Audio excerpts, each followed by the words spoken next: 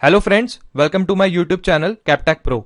In this video series, we will see how to install and configure WDS, which is Windows Deployment Services. So guys, before we proceed for installation and configuration, let me give you guys a brief introduction about Windows Deployment Services. So guys, what is Windows Deployment Services? Windows Deployment Services, WDS, enables you to deploy Windows operating system over the network which basically means that we can use WDS to set up new clients with a network based installation without requiring the administrator visit each computer or install directly from CD or DVD media. It is a server technology from Microsoft for network based installation of Windows operating system. It is also known as the successor to remote installation services. So guys, let's discuss now benefits of Windows deployment services. Benefits of Windows Deployment Services. The first benefit is it allows network-based installation of Windows operating system, which reduces the complexity and cost when compared to manual installation.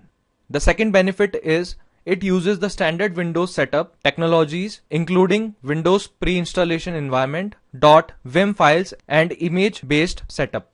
It transmits data and images by using multicast functionality. Okay friends, so now let's discuss prerequisites for installing WDS. The first prerequisite for installing WDS is Active Directory Domain Services. A Windows Deployment Services server must be a member of an Active Directory Domain Services domain or a domain controller for an ADDS domain.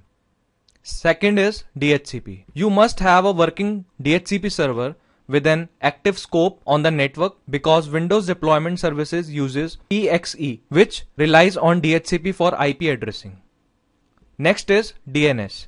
You must have a working DNS server on the network before you can run Windows Deployment Services. Next is NTFS volume. The server running Windows Deployment Services requires an NTFS file system volume for an image store. Last prerequisite is credentials. To install the role of WDS, you must be a member of local administrators group on the server. So guys, uh, this was a brief introduction of WDS. Now let's go to our server machine and let's start with the process of installation of Windows Deployment Services role. Okay friends, so now we are on our domain controller. We are using our DC machine to install WDS role. So for installing WDS role, we will click on start and now we'll click on server manager.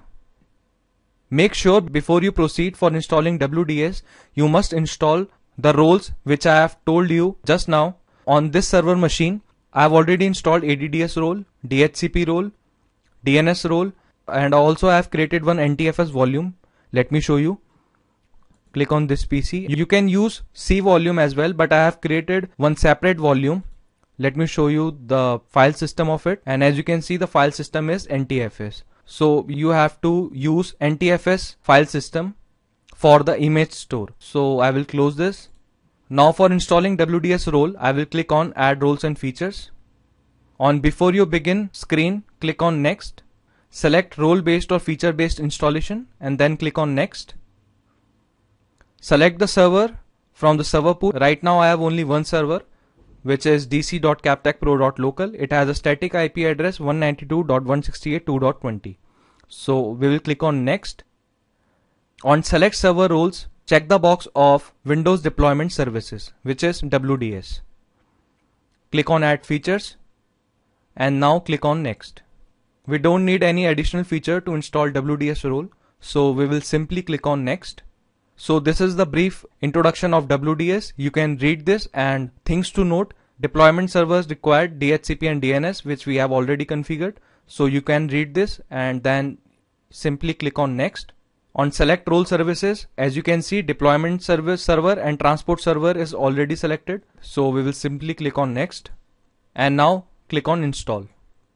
So guys as you can see installation has started on our dc.kaptechpro.local so friends, as you can see, our installation process has completed now. So we'll click on close and now click on tools and go down and click on Windows deployment services. Okay. So as you can see, this is the Windows deployment services wizard. We'll maximize this. Simply uh, click on servers. So guys, uh, we have successfully installed the WDS role and, and in next video, we will configure Windows deployment service, which is not configured right now.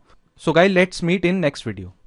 For more informative videos, you can check my other video links on the screen and subscribe my channel and press bell icon for more upcoming videos. I will see you guys in next video.